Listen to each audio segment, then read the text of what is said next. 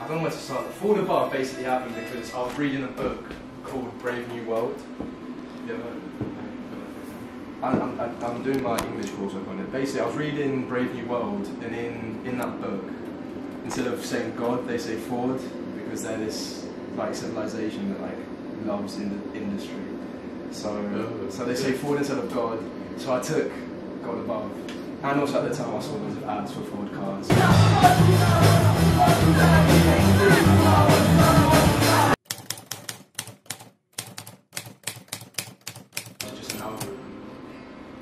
What I've been doing.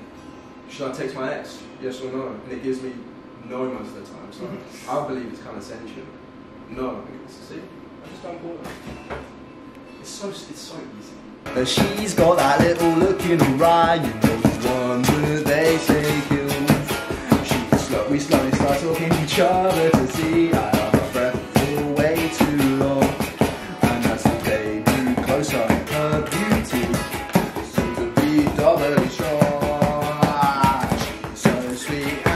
driving me insane.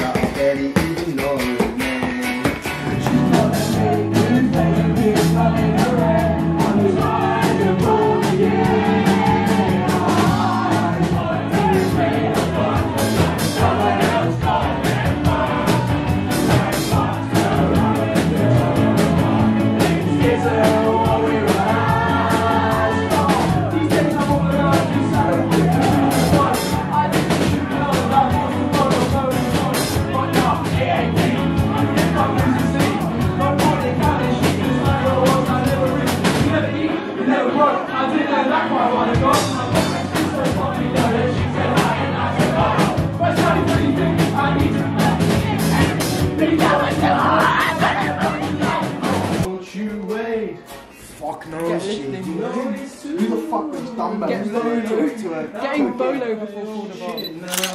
They're 1.5 kilos. Not getting bolo. Unless you're like a hamster.